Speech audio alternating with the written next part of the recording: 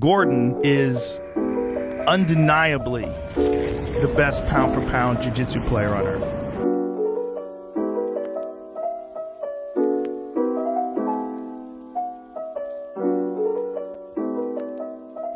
In the early stages of Gordon Ryan's career, he was known for his aptitude in strangles, arm bars, and his extremely developed heel hook game. Although he hasn't lost these skills since his short lived retirement, he has been showing different additions to his already stellar top pressure game.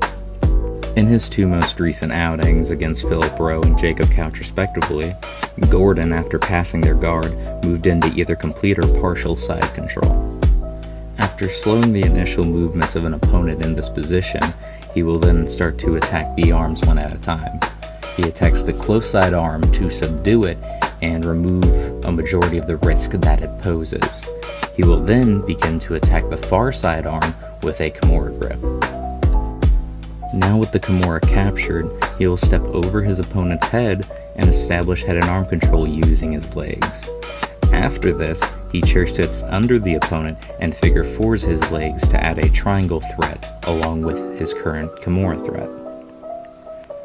While he used this tactic on Couch, where Couch then turned away from the Kimura which Gordon then abandoned, the use of the technique on Philip Rowe was far more interesting due to the rule set.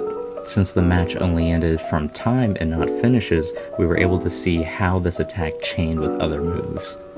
After already being submitted by the triangle once, Rowe began to post on the near side leg with his free arm.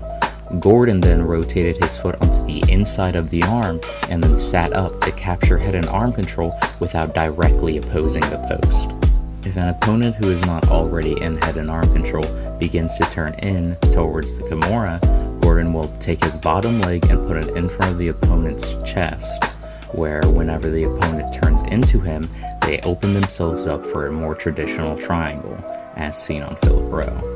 This set of attacks either gained finishes or helped to continue a dominant position in both of these matches, but the most important part of Gordon's top game is that he focuses on attacking from positions where if it fails, he can regain the position and attack again with little effort.